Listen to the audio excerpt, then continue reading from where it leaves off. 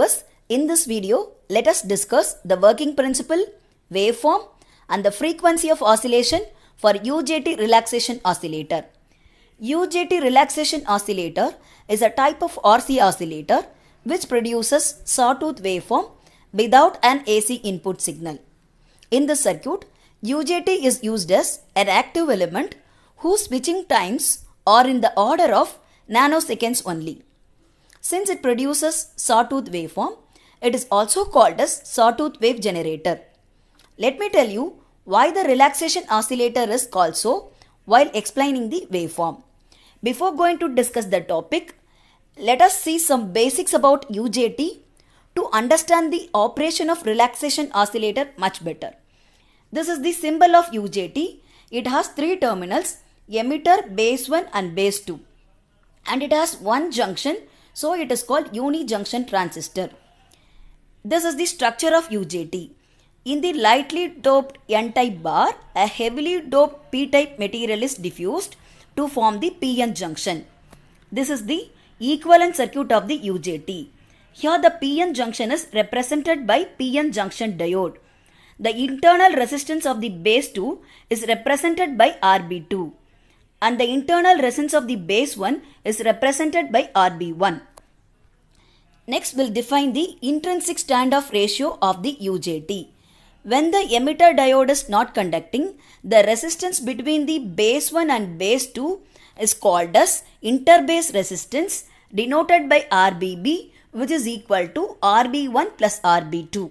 The value of RBB ranges between 4 kilo ohm to 12 kilo ohm.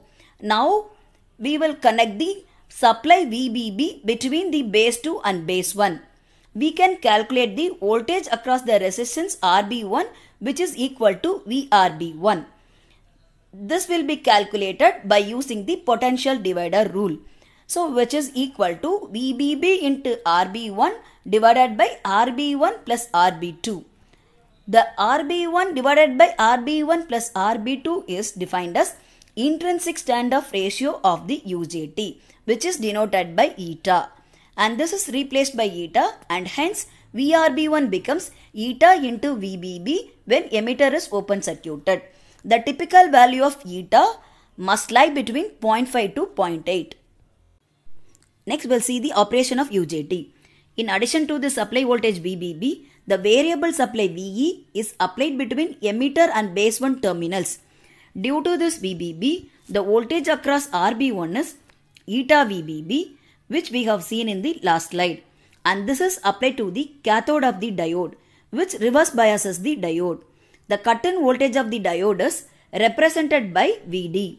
So the total voltage at this point is VD plus eta VBB which we can call it as peak voltage VP. When the input voltage VE is less than VP, the PN junction diode is reverse biased. So the UJT is said to be at off state. Hence the emitter current I is equal to 0.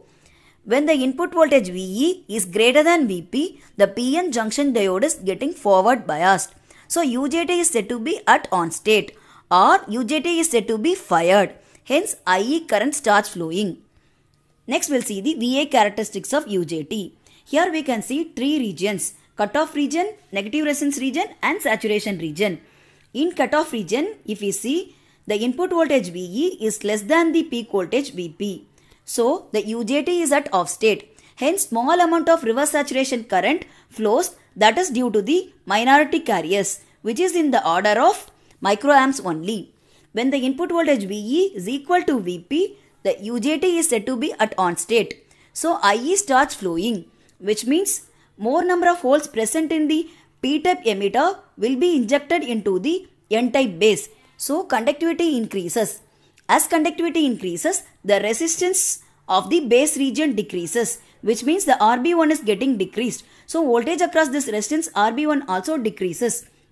So we can see here voltage decreases until the valley point though current increases. This region is called negative resistance region because voltage decreases though current increases. From valley point, the voltage starts increasing along with current IE. This is very similar to the PN junction diode's forward bias characteristics. Now we'll see how the UJT is functioning as relaxation oscillator. When the power supply is switched on, the capacitor C starts charging towards VBB through the resistance R. When the capacitor voltage VC is equal to the peak voltage VP, UJT fires. Now the capacitor discharges through the resistance R1 plus RB1 which is the internal resistance of the base 1 until it reaches the valley voltage. Once the capacitor voltage is equal to the valley voltage, UJT goes to off state. Then the capacitor C starts charging again. This process is repeated to produce the sawtooth waveform across the resistance R1. This is the capacitor waveform. The capacitor is charging from valley voltage to peak voltage and it is discharging from peak voltage to valley voltage. The charging time constant is equal to R into C because the charging path is like this. The discharging time constant is equal to RB1 plus R1 into C because the discharging time path is like this. During the charging of the capacitor, UJT is at off state. So the voltage across the resistance R1 is equal to 0. So during the charging period of the capacitor, the output voltage is equal to 0. During the discharging of the capacitor, UJT is at on state. So when we take the voltage across the resistance R1, which is equal to the discharging voltage of the capacitor, because discharging is done through the resistance R1 and during this period the voltage is equal to 0. Now we can see the oscillator is resting for this time period and produces AC signal then resting for this period then produces AC signal. So this oscillator is called as relaxation oscillator. Now we'll find the frequency of oscillation. The charging equation of the capacitor is given by this expression. At time small t is equal to capital T, the capacitor voltage is equal to peak voltage. When the capacitor voltage is replaced by peak voltage, the small t must be replaced by capital T. We know that Vp is equal to eta VBB plus Vd. So replace Vp by eta VBB plus Vd. Now the diode drop Vd and the valley voltage Vv are neglected to get approximate relation for T. So this becomes eta is equal to 1 minus e power minus t by Rc. Take natural logarithm on both sides to get total time period t which is equal to RC ln 1 by 1 minus eta. The frequency of oscillation is equal to 1 by t. So the total time period t is shown here which is t on plus t off. The condition for turn on and turn off UJT. To switch on UJT, the emitter current IE must be equal to the peak current IP when VC equal to VP. When Vc equal to Vp, the voltage at this point is Vp. The current flowing through the resistance is called Ip. The voltage at this point is VBB. When we calculate the value of R, which must be less than VBB minus Vp divided by Ip for the switching on condition. To switch off UJT, IE drops below IV when Vc equal to Vv. When Vc equal to Vv, the voltage at this point is Vv.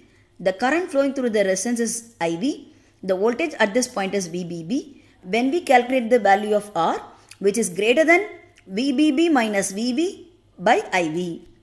So, for the proper turn on off, the R value must lie between this and this. UJT relaxation oscillators are used to produce low frequency signals. They are used in function generators to produce sweep signals. They are also used in electronic beepers, SMPS, blinking lights, voltage control oscillators and inverters. Thank you.